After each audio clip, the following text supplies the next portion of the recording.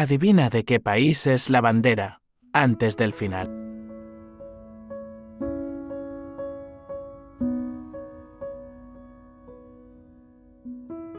¿Lo lograste? El país es China.